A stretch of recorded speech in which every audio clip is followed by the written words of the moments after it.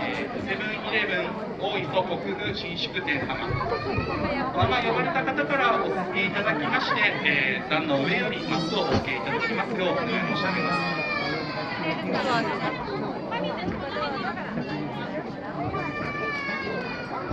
ではですね、えー、と3地区の宮沢人代表様もお進みいただきまして、えー一緒に豆をまいていただければと思います。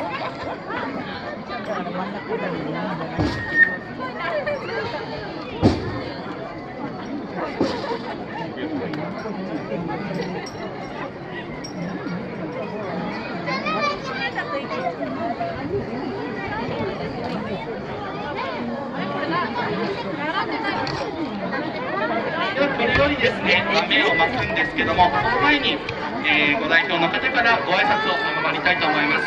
では、池田様からどうぞよろしくお願いいたします。皆さん、こんにちは。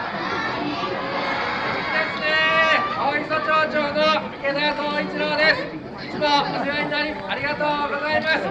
今日はみんなが待ってた豆まきです。えーこの六所神社から大磯、そして日本中に元気が伝わるように賑やかに元気にやりましょう。よろしくお願いします。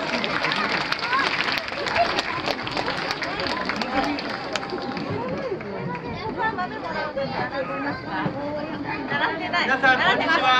河野太郎の代理ですえー今日はみんなと一緒に、えーたくさん豆をまきたいと思いますのでよろしくお願いします。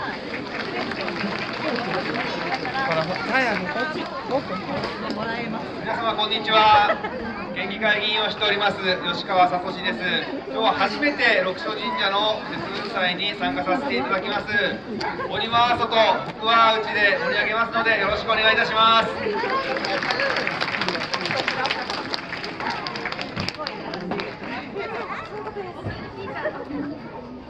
皆さんこんにちは今日はお天気が良くて良かったですね、えー、お磯町議会の竹内恵美子と言います今日は頑張って投げますので皆さん拾ってくださいね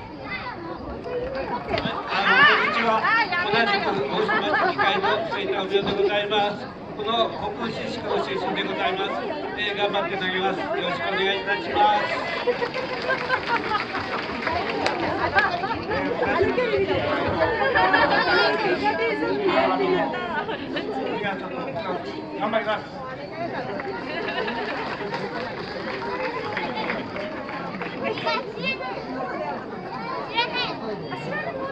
泣いてんだ家帰るよもうあんまり行ってないもんね